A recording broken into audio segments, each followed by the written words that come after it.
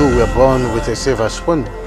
Instead of you to live on top of your world, you are rather living as a slave in your own paradise. I, a madman.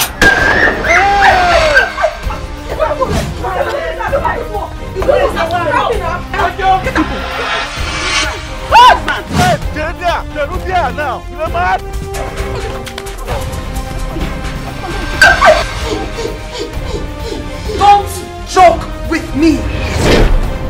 That child?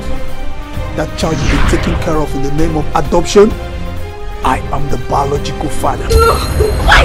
If you if you touch my kid, if I what is it?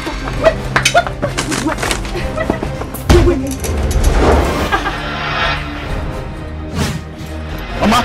Mama! Mama! Where's my mother? I saw blood on the footsteps. Yes, I, I, I, I did. Those footsteps were mine. You saw my picture there? Where is my mother? You fought with her, didn't you? I didn't fight your mother. I've not seen your mother in the last one week. Unless there is a secret you're not telling me about. Don't tell me you've been sleeping with this pig in our own matrimonial home. You shameless man. How could you, Esene? How could you? Mind you that I am still the king of this kingdom. I have every right to strip you off your crown as the queen. Oh, spare me that bullshit.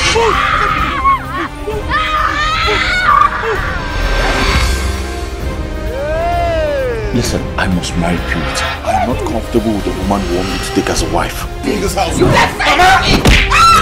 What have you done? Mama! I want you guys to kill the king, my husband. I warn you for the last time. When we're getting over. I am not feeling bad because you took Stanley away from me. No, I'm not crying because of that.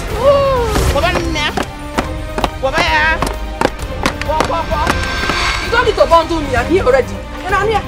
If you are not scared of a woman, come and bundle me. You don't know the woman, the past woman. You don't know? Woman, the past man to join.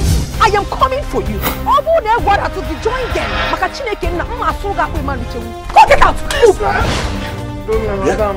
Purity. Stanley. What's going on here? We'll be here in silence and you're not saying anything. For God's sake, where is my father?